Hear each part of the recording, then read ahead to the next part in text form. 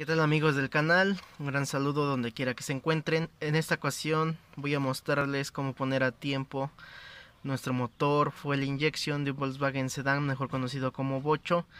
Y lo vamos a hacer sin lámpara de tiempo. Esta forma se podría aplicar pues en caso de emergencia de que ya sea que hayas perdido el tiempo que se haya movido tu distribuidor, que lo hayas cambiado y eh, no sabes o sientes que quedó muy atrasado o que quedó muy adelantado. Esta forma dijéramos queda, se podría decir que en medio. Lo mejor sería pues ponerlo con una lámpara, pero como digo, esto es en caso de una emergencia, eh, de que no tengas tu lámpara para ponerlo a tiempo. Ya este harías este procedimiento y en cuanto puedas pues ya lo pones a tiempo con tu lámpara. Vamos a ocupar nuestro dado 10 milímetros, nuestro perico y un desarmador porque vamos a abrir primero que nada nuestra tapa del distribuidor. Aquí pues se mueve porque como les dije lo aflojé. Aquí quitamos las grapitas de la tapa y vamos a ver nuestra escobilla, vamos a buscar el cable de nuestro pistón número 1 en este caso el, el encendido así nos lo marca es 1432 entonces nuestro pistón número 1 sería aquel el que está allá atrás. Ese sería nuestro pistón número 1 entonces buscamos nuestro cable del pistón número 1 vamos a acomodar nuestra escobilla o rotor, le dicen. Vamos a acomodar que quede apuntando hacia ese pistón, hacia ese cable, dándole vuelta a nuestra polea y que vamos a encontrarnos con la marca del punto muerto superior para saber que el pistón está hasta arriba. Bien, como podemos ver aquí nos encontramos la marca del punto muerto superior y está a la mitad del monobloc. Entonces ahí estaría en su máxima altura el pistón número 1 y como podemos ver aquí en la tapa pues ya está apuntando hacia ese cable que es del pistón número 1 lo que vamos a hacer para ponerlo a tiempo es que esta marca del punto muerto superior la vamos a poner que apunte más o menos al tornillo con el que aprietas el distribuidor.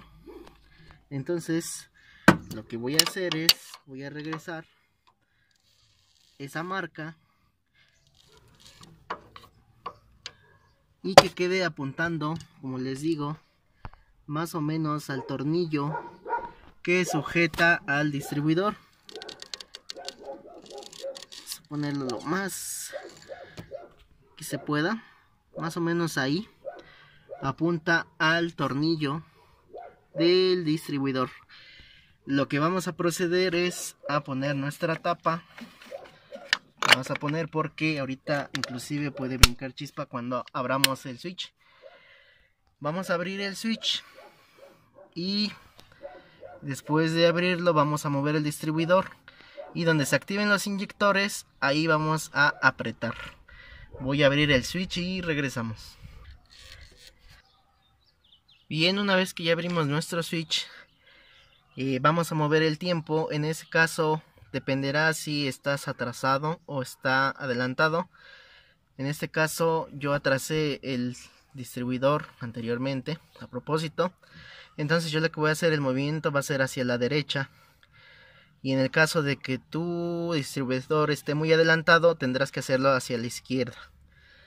Ahora vamos a constatar que nuestra marca del punto muerto superior siga apuntando hacia el tornillo del distribuidor no hacia la marca de del punto muerto que sería en la mitad del monoblock está apuntando hacia nuestro tornillo del distribuidor. Voy a empezar a dar vuelta y debemos de poner mucha atención en, en el sonido de los inyectores que se activen. Voy a empezar.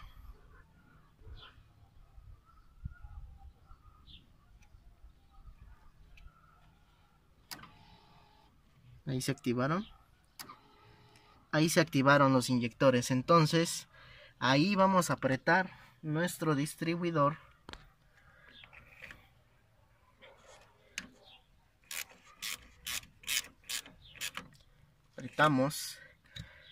esto eh, no importa si desconectas o no tu sensor de temperatura porque no lo estamos haciendo con la lámpara no afecta.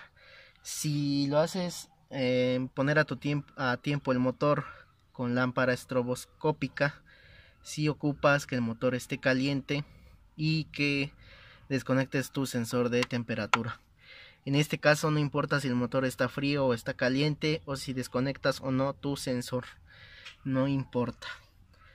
Entonces, ya que lo dejamos así, pues ya podemos echar a andar el motor. Voy a echarlo a andar para que escuchemos cómo quedó. Y bien, como podemos ver, el motor del bocho se escucha parejo dijéramos que no quedó ni muy atrasado ni muy adelantado el tiempo, quedó en un punto intermedio.